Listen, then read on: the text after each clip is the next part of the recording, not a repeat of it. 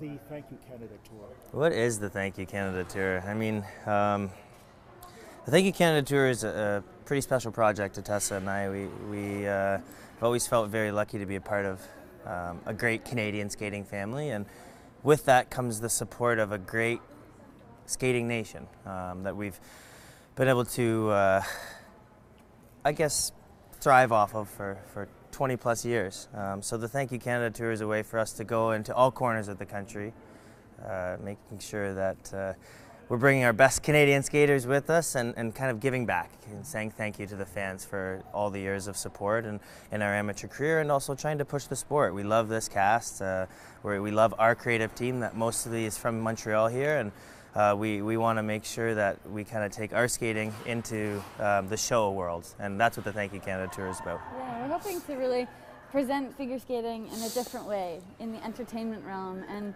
bring new aspects to life that hopefully just make it an all-around fun-filled show for, for everyone across the country. We just can't wait uh, to get this tour going. We're with such a fantastic cast, mm-hmm. and we're trying some new things with choreography. So I think it's a nice challenge for everyone. What can fans look forward to? Well, I think the fans will find that there's a lot more dancing in this show. Uh, we're we're dancers, but um, we're so happy to be working with Sam Chouinard, who's a, a hip hop dancer that we've worked with for years. Um, and he brings such a special aspect to the show. Uh, I think there's going to be a lot more uh, of of a group aspect. There's not a ton of solos. It's all of us on the ice together a lot of the time, and uh, hopefully that's more fun to see us interacting and also playing off each other's energy. This cast gets along really well, sometimes too well, um, but uh, that hopefully they can see us having fun and have fun themselves in the seats. And some audience engagement. We're oh yeah, yeah, flash mob. They're moving, so uh, we're, we're looking to get everyone involved in a certain sort of flash mob dance. So we can't wait. now, so many people before you have said that uh, talked, spoken about the, the chemistry mm-hmm. of the group. What do you think accounts for that?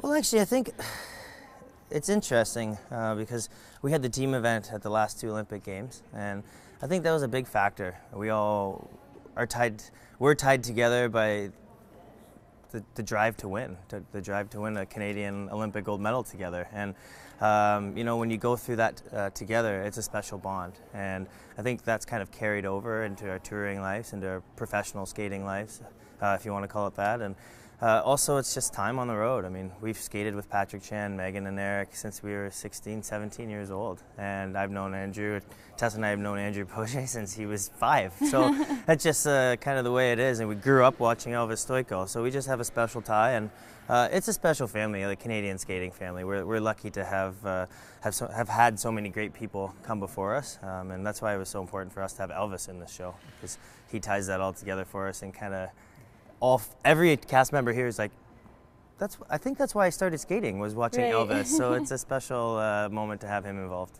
What have you guys been up to since the Olympics? Oh gosh, what haven't we been up to? Someone asked that the other day what we've been up to, and I'm not sure either of us had an answer. We'd have to look at our calendars. Like, no, we've been busy. we are like, is it? Been, it's not March. We've been traveling a lot, doing um, various sponsor engagements and different business endeavors, and and yeah. just sort of taking some time. Although, have we? We toured. Time? We toured a lot. like we're lucky to be able to go around uh, around the world a little bit and, and, and share our sport and, and do shows. But we we toured till about halfway through July and then tried to get, recover. But planning this tour has been very exciting, but a lot of work. So.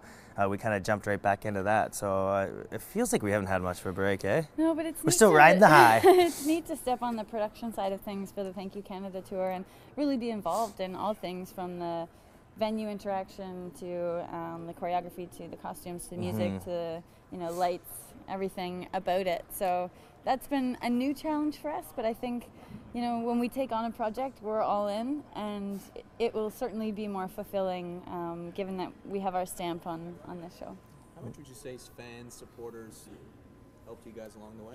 Oh i mean it can go on and on and on to be honest. Like it's uh we're very fortunate to have had the careers we've had, but it's it's not an easy job being amateur athletes. Um, we don't we don't do it for the money, as we all like to say. the word amateur uh, means a lot, but you know, you, you really do thrive off the support from fans. I specifically always look back to coming home from Sochi uh, after winning in Vancouver and coming home with a, a, silver medal. Tessa and I were very pleased with our skates, but we kind of felt like we'd let Canada down. And uh, the the support that we received was so heartwarming, uh, and you know that pushed us forward. I think that was a big reason why we wanted to come back in 2018, and uh, we've always kind of been so fortunate to have the support of, of Canadian fans, and they're they're an educated fan. Um, we're a skating nation, so uh, there's no fooling them, and that also uh, you know pushed us every day in training uh, to make sure that we brought the best product forward for them. Yeah, and in Pyeongchang, I really felt where in Sochi we might have felt the pressure to defend yeah. our title, and we really wanted to to bring home the gold for everyone. That felt like an extra stressor in mm-hmm. Pyeongchang. It felt like everyone was lifting us up and Absolutely. empowering us even more, and and we knew that people were behind us um, from all across the country, and it, it truly meant a lot to us. I mean, the way everyone rallied and seemed to connect with our programs. Um, yeah, it was pretty special. Eh? Totally surreal, and we're, we're so incredibly grateful. And what we don't talk about very often was the feeling in the venue that day. It was, I think, a great Canadian moment because we were in Pyeongchang, Korea, South Korea, and look up and there was almost more Canadian flags than there were at a Canadian national championship. So that was pretty special. And for some reason, I think uh, every Canadian in South Korea that day bought a ticket to yeah. the event, and we felt like it was a home skate for us. And the, the crowd lifted us up in that performance. So, mm-hmm. I mean, it was a great perk. One of, one of, the rare performances, we really felt the momentum. I mean, in our sport, there isn't mm-hmm. much momentum back and forth between the competitor, but mm-hmm. in, in the middle of the program, I remember having that moment of thinking, wow, we're building to something. There's sort of leading to a crescendo, and, and I can't remember ever feeling that in our career. And when you feel that, you kind of we accomplish our goals at the Olympics. For for Tessa and I, we get to stand on top of the podium, but there's a long list of people that are in the trenches with you every day and go through and sacrifice their lives as well that don't get a gold medal, that don't stand on the podium with you, but um, as well as the support you get from Canadian fans. So on the plane ride home, we kind of started thinking, you know, what can we do? What can we do to give back for everything that we've received in our amateur career? And part of that is uh, what can we do for young people to make sure that they have the same uh, opportunities that we have, um, and inspiring them is one of them. So I think that that's a big part of this Thank You Canada tour. We wanted to make sure that we said thanks to the fans, but also if we can inspire you know kids to, to take up sport or extracurricular activities instead of the, the dozens of, of pressures that they go through in life and um, focus on the positives. If we can do that for one or two people across the country, then we've accomplished our job, and that's part of this project is the give back. Are you thinking about uh, Beijing in we're thinking about it for sure. Um, we're thinking that we'd like to be there. Uh, I don't know if we'll have skates on our feet, um, but let maybe tell your friends at CBC that we're open for opportunity. um, I don't know. I think it's a we have some hard thinking to do. I, it, I know that. Not a single games well, will go by that we won't want to be there.